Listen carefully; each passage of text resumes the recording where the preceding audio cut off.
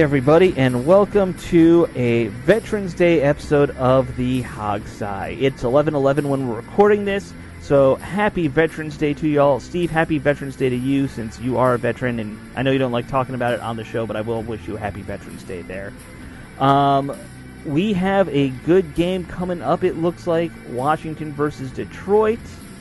I'm excited for it. I, I've been watching Detroit film all day because I've been able to actually sit at home while I've been working from home because you know government's closed So your work consisted of watching Detroit Lions game film. and checking my email. Yes, of which I got none because again I work for the government. No one else is working, only as contractors. we should have waited to do this show at 11:11 on 11:11. I would be asleep. I I, I, barely make shows it. that late. yeah. You kidding me? You, you love you love being up that late. I, I hate being up that late. Like I want to, I, I fall asleep usually three or four times uh, before the a day before eleven o'clock. At this point. yeah, I'm a night. I'm a weird night owl because I don't like nightlife. But you I'm are a night up. owl and a morning person. You just don't like sleeping. I'm not. Yeah, I guess I'm anti-sleep. You I are. You are very much way to do it. anti-sleep. Like I went to bed at 1:30 last night and got up at five for Yeah, no real yeah. reason. I I like. Uh, I I I used to like staying up late. These days, like nine o'clock, ten o'clock, I'm usually falling asleep. So I used to play uh, play loud electric guitars all night long, Right. and I can't do that now, Right. unfortunately. But which bums me out. Well, yeah. If you lived in a city, no one would care. I you- have people in the house. I, Yeah. You know, that's the problem. if you lived in a city, no one would care. um, you know, living in the suburbs, yes, people call the cops if you play an electric guitar. Uh, My way. amp is loud enough to notify the entire neighborhood that Yes. I'm up. yes, exactly. I, have a large enough amp that that will do that. Whereas in my neighborhood, people shoot off fireworks at two in the morning, and no one does a thing. Realistically, I cannot turn my amp above two. And, oh, know, and put it Steve, that way. I'm saying fireworks with air quotes. Fireworks, quote unquote. yes, yes, Uh, we pretend they're always millimeter firearms. Yes. Let, let, we're going to pretend they're fireworks, though. Um, all right, let's let's talk about this game a little bit. Uh, Washington takes on the Lions, which, uh, like I said, I think it could be an interesting game. Um, I, I, I was watching some of the Lions tape today, um, and I, I will say this: Matthew Stafford is playing better than I've ever seen him play. Uh, you know, he to me he's the most pocket quarterback you will ever see, but at the same time, like he. He used to always take too long to throw the ball. Now he's getting it out really quick. He's got like Aaron Rodgers hit the back foot, drop drop the ball off kind of thing going on lately. Well, it's funny you say that because if you watch the Minnesota film, I used to think of Aaron Rodgers in his early days as a real gunslinger, and Right. he is. But he used to go deep a lot. He had Calvin Johnson you run all over the place. That Minnesota game, he only went beyond short passes a couple, a handful of times. Well, yeah, because he doesn't have, you know, elite receivers like he used to. Yeah, yeah, he does exactly. And so it's almost West Coast offensy sort of offense from Detroit. And the problem with the, the Lions, and and from his numbers wise, he's about despite the fact that he's what uh, 12 years in. Mhm. I mean, his numbers this year are about at his career average. He's averaging 62.6% completion percentage. His career average is 62.5. His quarterback rating 92.4. You know, his career average is 90, 89.5. So he's right there. The the team sucks. The Lions Right. suck.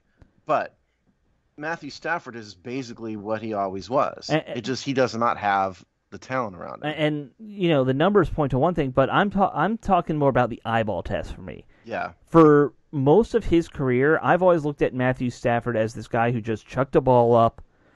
He had elite receivers, so it didn't matter that he was probably throwing 30 uh, passes a year that should have been interceptions. When you have, you know, Megatron, most of those are not interceptions. Now he's getting it out accurately, and his numbers are about the same, like you said. But you know, I, I watched that game, I didn't see him throw. I know he had two picks, but I didn't see him throw a lot of stuff that was just like chuck it up for grabs anymore. He like didn't. to. He, there were one or two of them, but that was about it. Yeah. You know, and the difference is, th- listen to these weapons. I know you know, Alex, but for Yeah. the benefit of the audience here, Danny Amendola. That's a good. you know- that's a good slot receiver. That's about it. Yeah, I mean, you know, it was Tom Brady's, you know, whipping boy there for a while. Um, T.J. Hockenson, who was the celebrated tight end Right. out of Iowa two years ago. Uh, that is the guy who replaced Logan Thomas, by the way. And then, uh, you know, Kenny Golladay, decent talent. Marvin Jones, decent talent. It's basically those four guys. hmm Danny Amendola, T.J. Hockenson, Marvin Jones, uh, Kenny Golladay. that's his. That's his weapons, and that's none of those guys are Megatron. You No.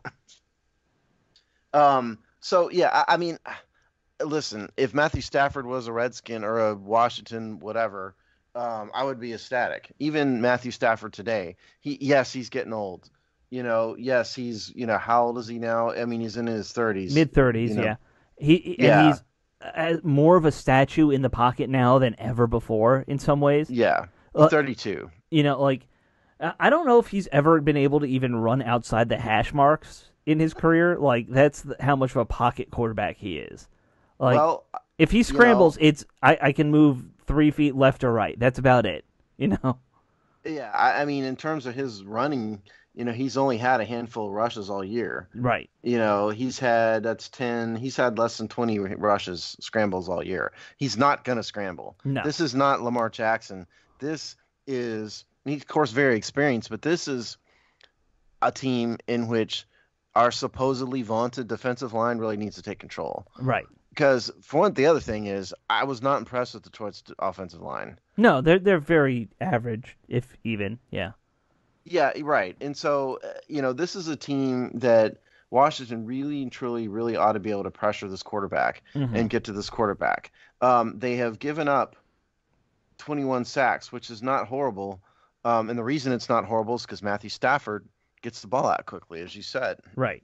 Right. I mean, 20, 21 over how many games are, are we Well, at? it's ranked 21st in the league. And uh, for context, Washington has given up a lot more than that. They've given up 28, which is 31st in the league. Right. For context, Okay. That that's depressing. I didn't know that we're 31st in the league in sacks allowed. and that not only that, but that's only in eight games. yeah.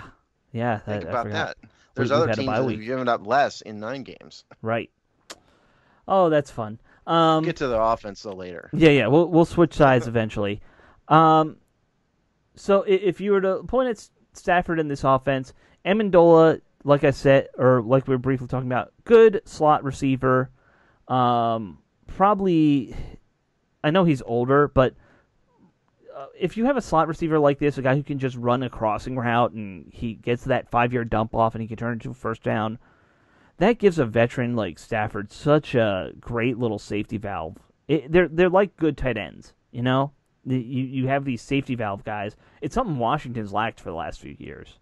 But But yeah, they, Washington's lacked a lot of things for the last Well, few yeah, years. but- But, yes, we had we had that with Crowder, and then we've never found a good replacement. You know what I mean? Um, but anyway, Amendola is there. You, you mentioned the tight end. Hockenson. Yeah, Hockenson. Yet, I noticed during their last game, two of the Vikings' interceptions were by linebackers. So, I mean, if if Stafford's looking that way, athletic linebackers might be able to make a little hay here. Yeah, well, and also, I mean, remember Hockenson is the leading target. Mhm. He's had 49 targets on the the next most is Marvin Jones, the wide receiver. Uh, or I'm sorry, Amendola with 41, and then Marvin Jones with 41, both of them. So he's looking Hockenson a lot, Right. and the linebackers are the ones who are covering Hockenson. Now, what scares me tremendously about this game is the fact that we our linebackers are Jon Bostic and KPL and Cole Holcomb, Right. and now we have yet another pretty darn good tight end for them to cover, and it's probably not going to go well, especially with a quarterback like Matthew Stafford, who uh, is obviously certainly in a what top ten quarterback maybe in the league, roughly. Uh, I mean, in his best years, yeah. I don't know if he's there anymore because it's such a quarterback-rich league these days. I, a I've, ballparkish, you yeah, know, ballpark. He, can. Yeah. You could still argue he's a top ten. Like, he and can I, still sling it. Yeah, he can sling it. Um, I just think the fad now is these quarterbacks who are more athletic, so that's why people might start putting them down.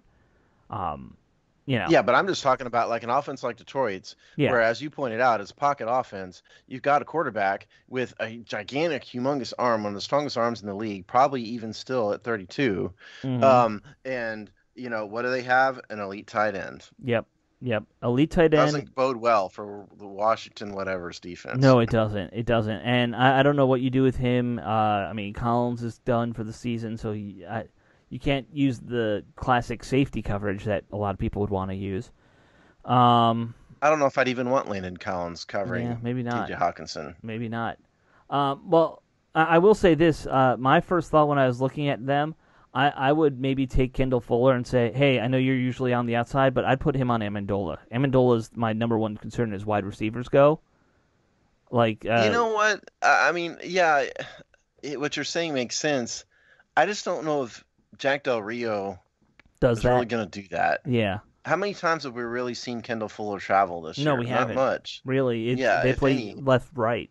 They really yeah, I do. wouldn't swear that it's never happened, but I mean, I don't recall it ever happening. So I just don't. I mean, I get what you're saying, and I don't disagree with you, but I just don't think Del Rio's going to do it. No, probably not. Um, I, I think this is going to be an interesting test for the secondary because uh, the last couple quarterbacks they faced, let, let's be honest, not good. Um, you know, uh, Daniel Jones, you know, he's you know a turnover machine. I know he didn't. We didn't have any interceptions last week, but he, he doesn't scare you. And, and Well, you know, yeah. Think about this for a minute. Dallas, they didn't scare us. Yeah, the Eagles, Carson Wentz, they had a horrible game, terrible offensive line. Mm-hmm. Lamar, you know, going down the list of quarterbacks, Washington's face.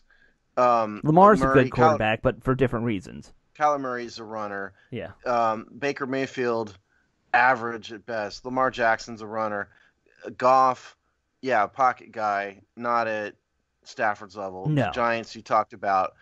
Dallas with Dak Prescott, different story, but he, they had whatever a Ben DiNucci is, was the guy who was under centered.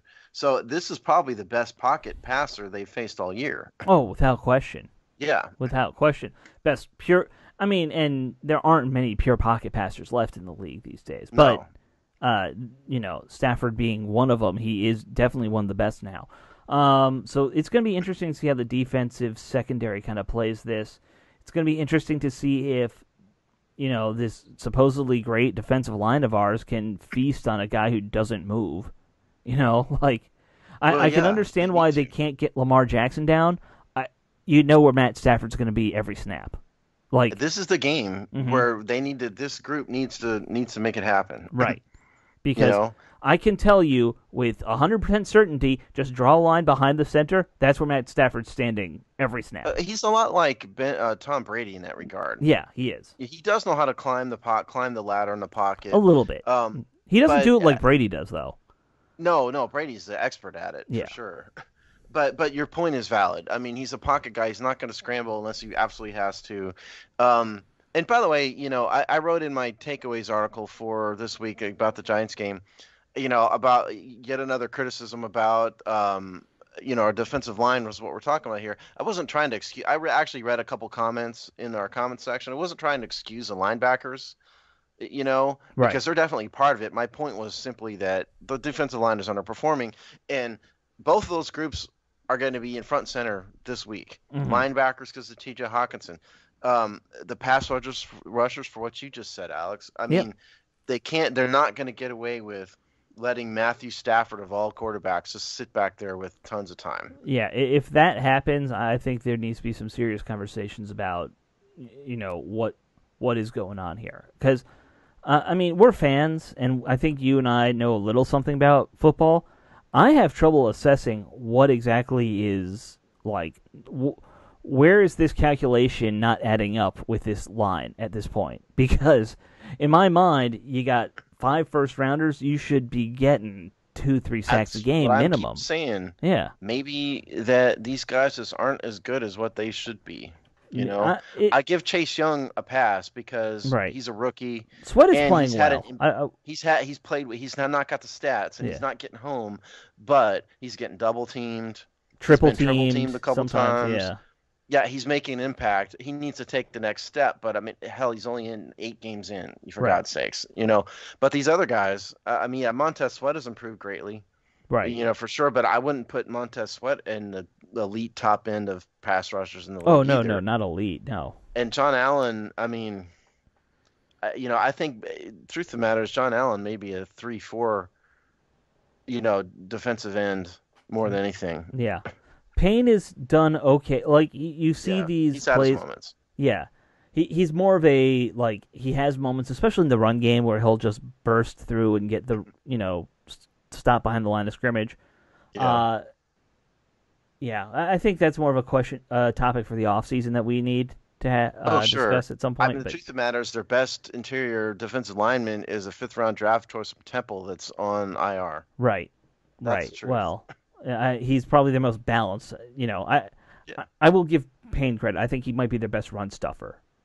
Hands like This is one of the worst run defenses in the league. Yeah, well, he's the only guy. we don't have any. We don't have any linebackers who are good at it. Speaking So- of running, by the way, we'd be remiss in not mentioning two guys. Sure. One, somebody we know, Adrian Peterson. The other one is DeAndre Swift. Yeah. DeAndre, I mean, the obvious narrative of Peterson is there, right? I mean, Of course. Peterson. Of course. We talked about that revenge? last week. Yeah. Right. But don't sleep on DeAndre Swift. I was impressed with what he did in against uh, the Vikings. He can run, Yeah, he can. you know.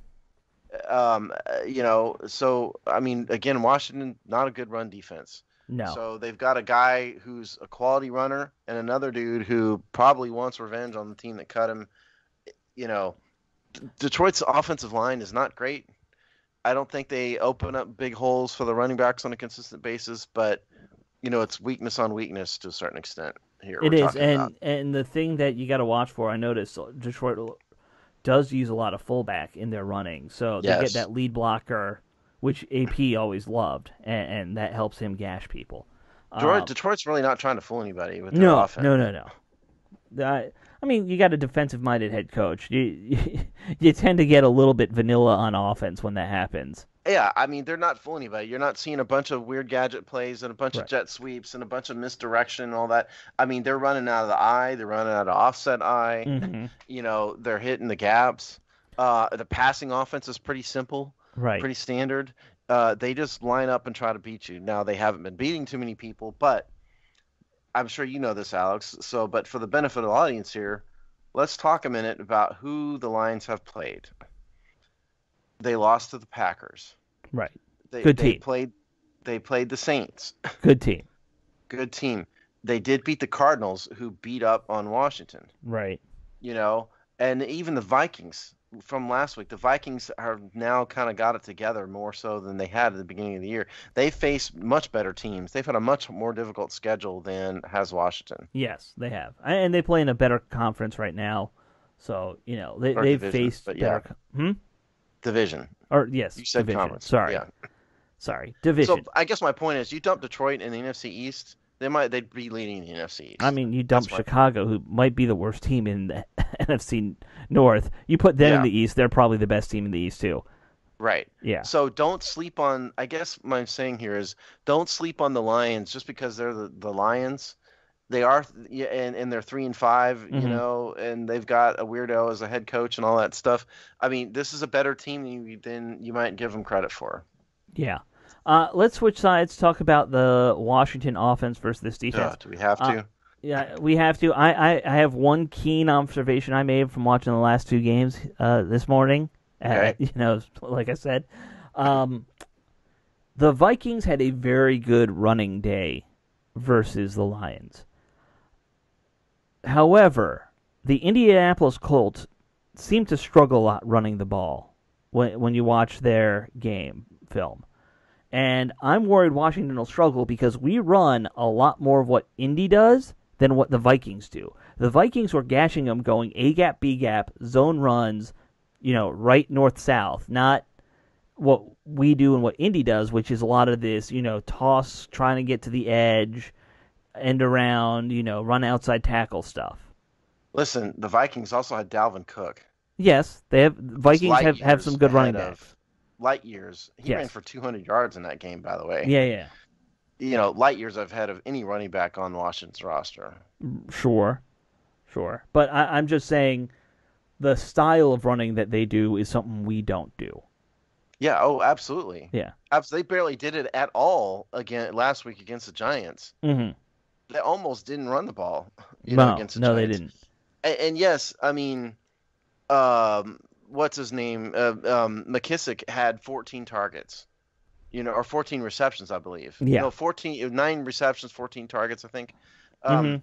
That's Something what Scott Turner likes. That's what he did with Christian McCaffrey. Sure. You know, that's what he likes to do. But I think you're right. In because that was my observation as well. Is I think Detroit's just not good.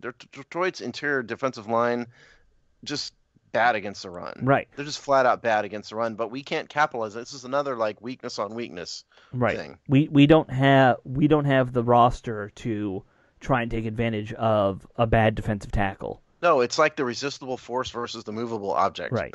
Right. And and frankly, if if you see Washington trying to do a lot of the outside stuff, that's where Detroit's good. Like they can get to the outside and break up a run on the edge. Yeah. No, I mean, and their their defensive rushing st- statistics are terrible. Mm-hmm. You know, they're 29th in rushing yards. They're giving up uh, 4.8 yards per attempt. Now, a lot of that was their stats got annihilated by Dalvin Cook.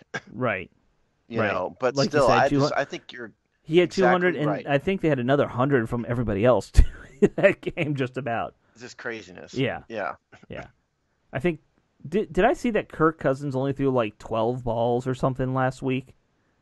Do- Okay, do- you're gonna make me look it up. I hadn't pulled it. yeah. Okay, I got it. Um, Kirk Cousins, 13 completions, 200, uh, 20 attempts, 220 yards passing. Okay, 13. So Yeah, and um, the only other guy who had carries was Alexander Mattison with 12 carries, 69 yards. So they ended up with just under 300 yards rushing last Right. week. The Vikings against the Lions. Yeah.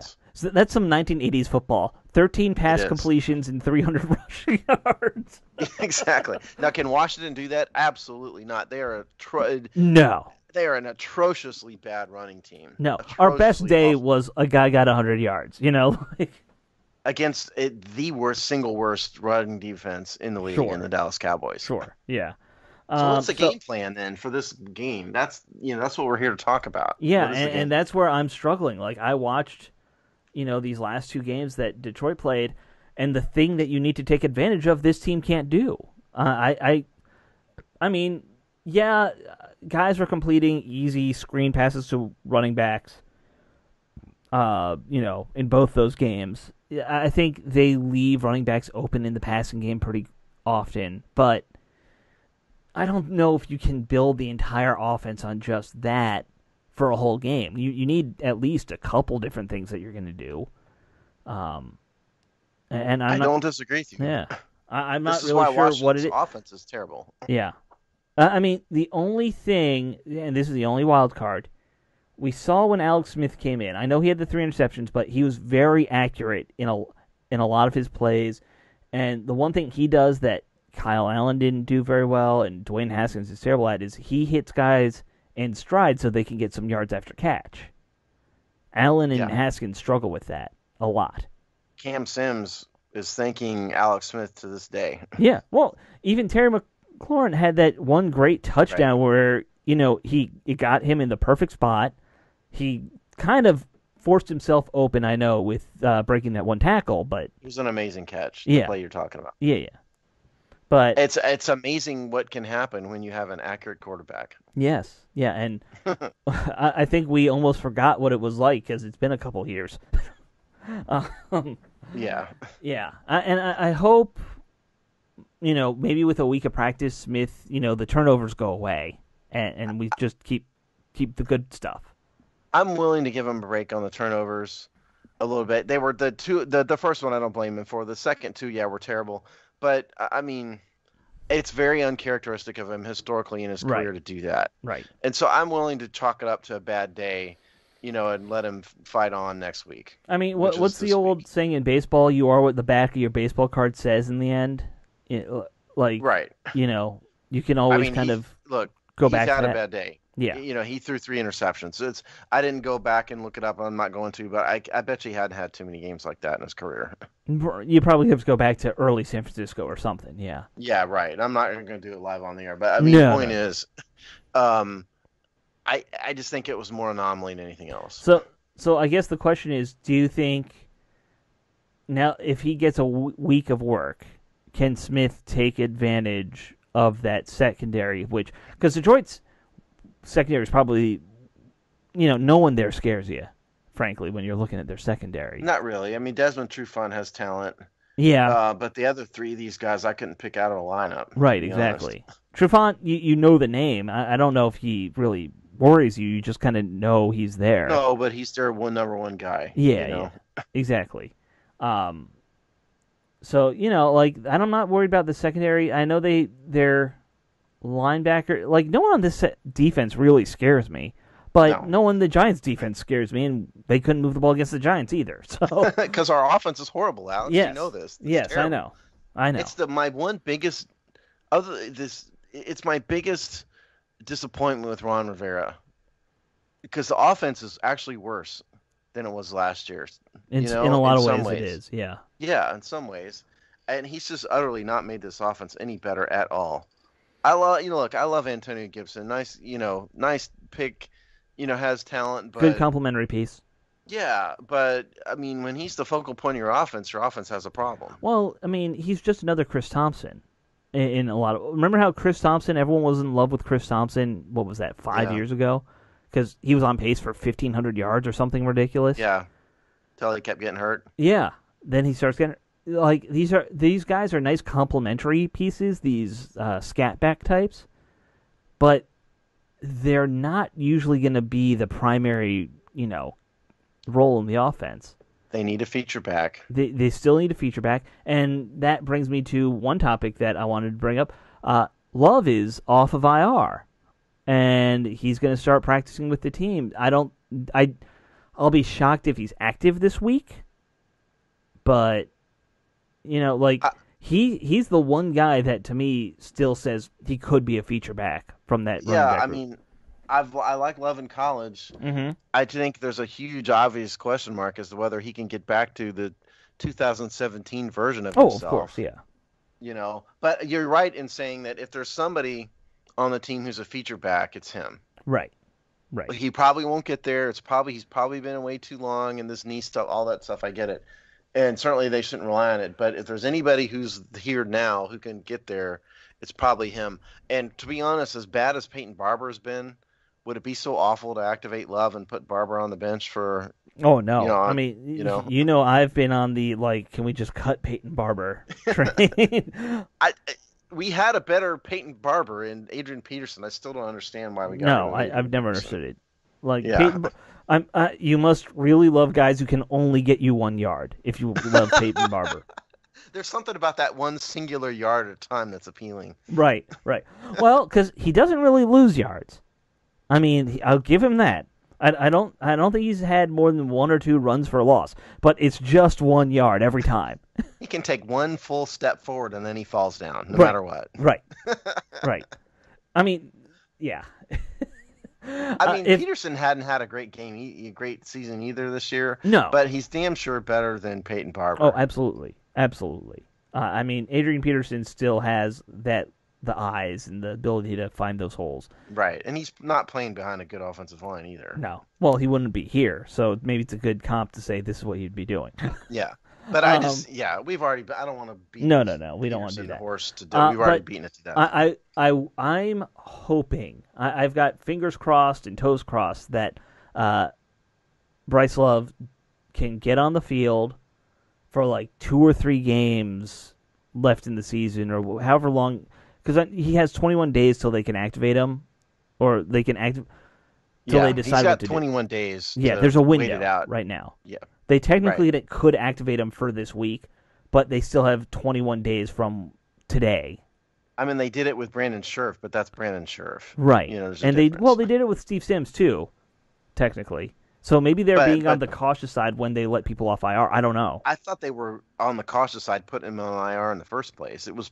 It looked like to me it was less that he wasn't healthy and more that he just needed more time to kind of get get right. it together. That that was kind of my. So maybe maybe they do decide to move him up Maybe. this week or next week instead of waiting three weeks. I'm all for it. When you're two and six, Yeah. you've got Peyton Barber as your third string backup, and you're playing the Lions. There's no better time to act. You might as well activate him. Yeah, give him a shot. I mean, Yeah, it, this is the. T- I mean, because what we were talking about earlier, you need someone who can run through the A and B gaps, and that's what he does. Right. And he's better at it than Barber. He's better than Gibson or any Better of these than everybody. Yeah, yeah. I wouldn't. If he gets activated, I would say he's a sleeper to maybe get like 50 yards or something and be a big part of the running game. Now I've been on my Twitter blackout, with the exception of advertising our content. I've been Sure. on a Twitter blackout, so I don't know whether there's any rumors floating around about him being activated. Have you No, no, it? no rumors. That's just my conjecture. Like, Okay. not no rumors, just conjecture. Oh. Um, and, and yeah, n- none of our friends have told us anything. You know, our, our Okay. friends who are on the inside. Um, yeah, yeah. Steve's the- been, for those who don't know, Steve is basically uh, stepping away from Twitter for a while. We don't know how long. Uh, he, he's kind of burned out, and I blame all the politics on Twitter. Uh, I think that's fair. Yeah, Um, basically, Twitter's become the spawn of Satan, and I hate it. And I really hate seeing a bunch of anonymous morons argue about politics on Twitter. I can't do it another day. So, So you're, you're Alex stepping away now for a while, and it's me for a while that people are Yeah. stuck with, which is why you've probably seen an uptick in uniforms and other nonsense. Um, yeah, hey, that's what you like. I mean, yeah, yeah. Well, so nonsense. let, let me do a other nonsense topic because this one, uh, there was a poll that you know Michael Phillips from the Richmond Times Dispatch. I'm, I'm sure Yeah. you've seen him post before. Yeah. He we posted a at all, but yeah. well, yeah, yeah, but he posted a fun little poll of uh, whose jersey would you rather buy right now, uh, Terry McLaurin or Chase Young? And I thought that was a fun little topic, and we're towards the end of the show. I thought I'd throw that to you, Steve. Uh, I know you're not a jersey guy, so maybe it's Yeah. maybe it's more of a jersey, the T-shirt jersey things. Well, I have a rule that I'm not going to wear a jersey of anybody who's substantially younger than me. Yeah, I just won't ever which- do it. which is but fair. if you're talking, I mean, Hypothetically, put yeah, hypothetically putting my anti-jersey thing aside, um, and I'll, I'll open it up more. Yeah, any player on this team that whose jersey you would actually think of buying. well, I think everybody, all but a handful, would be a waste of time because they're going to be gone. sure. You know, the I mean, you're talking about the guys who are going to be here, and you get money, a value out of your jersey, and you be proud to wear it. Um, you know, I'd probably go McLaurin. I'm more of an offensive guy. Right. Um, I think he's proven himself. Chase, I mean, he's played. Yeah, everybody loves him. And, and but to be, let's be honest though, part of the love is that he's from Maryland. He's a Yeah. local guy. We don't. He's only had three sacks this year. You know, I'm not saying he's a disappointment or anything like. He's about where he should be. You know, but McLaurin has dras- drastically outplayed. Um, outplayed his draft status. He's become a team leader. That's the guy. If I was going to buy one, which I won't, I Right. would, it would be him. It'd be McLaurin. Yeah, I, I, I tend to lean uh, offensive guys too. I, I'm with you there, and, and I also have a weird thing about jerseys where I weigh 210 pounds. I'm not putting on an offensive lineman or defensive lineman jersey because that looks ridiculous. It, there's nothing funnier to me as a sports fan than when I go to a football game or watch a football game and I see a guy who's 400 pounds wearing a quarterback's jersey. Like you just Yeah, it's a little crazy. yeah yeah you you, sh- you should never wear a single digit if you have mad boobs. I'm sorry. I do have a Darrell Green jersey at Sure. home that if I'm going to go to a Redskin game and wear a jersey, which I probably wouldn't, but if I did, it would be Darrell Green. I have a Cooley jersey that I would throw on at this point. That's reasonable. Yeah.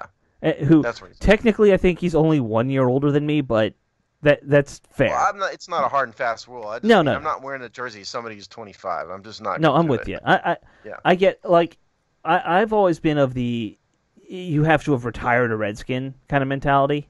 Right. Or retired I guess it'll be Washington football team here for like if Kerrigan the retires next year I would buy a Kerrigan jersey maybe because you know he played his whole career here, that kind of thing. And and you're kind of in his ballpark of age and stuff. yeah, I'm older I think he's a couple years younger, but yeah, that. But you have to have played your whole career here for me to be interested in that. Because let's be honest, there haven't been a whole lot of players who have stayed and played careers here in the Mhm. past couple, you know, entire generation. Oh yeah, really. yeah. Well, I mean that's rare for all teams now, but let, let's say a bulk of your career even. That's that's rare here even. Yeah, you know, there's some people out there who've got Trenton Williams jerseys who are probably regretting it right now. Probably. Although I, I think, do you- you think maybe five, ten years they'll kind of be over it? I, I kind of do. Um, some will, some won't. Yeah. Depends on if you blame him or you blame the team. Sure. Sure. I kind of blame both. Yeah. I think Trent acted like a baby, and the team, you know, the Bruce Allen acted like a baby too. I think Right. they both were wrong, personally. Yeah, I, I, you're not. I think that's a fair assessment. But to me, the 30 year old acting like a baby versus the 60 year old acting like a baby, I'm gonna. Yeah, The 60 year old should be the adult. yeah. Well, that's why he's not employed. yes. Yes. Um, let me go over the injury report real fast. Okay. Yeah, and then we'll wrap up. Yeah, Kyle Allen, the D and B's, D and P's this on Wednesday were Kyle Allen, Thomas Davis, Antonio Gibson, Dontrell Inman. Gibson was a shoulder, Inman was a hamstring. Davis looks like he probably got a Veterans Day off, and Kyle Allen, obviously, he's going to go to IR soon, presumably. Yeah. Um, in in terms of the Lions, Kenny Golladay, Everson Griffen, um, Vi- uh, I don't know how to pronounce this dude's name. I always get it wrong. Viatal, the offensive lineman. okay. Yeah. Williams. Yeah, and uh, Golladay was a hip, Viatal, whatever his name is, um, foot, and then Williams is a shoulder, and then Griffin, veteran day off, looks like. So that's injury report. Okay. The Lions right, have let- a whole bunch of people not practicing, but they were all limited, and it's Wednesday, so. Right. Right. And like you said, with Allen, he's probably going to IR, which again opens up a spot for Bryce Love, hopefully. Or Okay. Steven Montez. or Steven Montez. Yeah, uh, a lot of talk. By the way, I know you're not on social media. A lot of kind of chitter chatter about Steven Montez maybe getting on the roster if Haskins doesn't uh, do well in practices. So, you you know, you imagine? can you can keep that in mind. Um, that's just for Steve, not for the public, because you know, screw the public on that one. uh, I, I mean, I, could definitely see it happening. yeah, yeah, Uh, nobody knows how well Mon. We've not heard two words about how well Steven Montez has been doing in practice Right. this year. Well, why would you? I mean, no, Yeah. no one's paying attention to him. Um, No. All right, let, us do uh, predictions because Okay. we're we're about done with the show here. So, All right. Game prediction. Do you want me to go, or do you want to go first? I'll go. I'll go. Right. You went first last time, didn't you? Or Jamal went first. But anyway, um, I look. I have no faith in this team right now. I really don't. Um, it's in Detroit. The Lions are a better, a crappy team too, but they're a better team.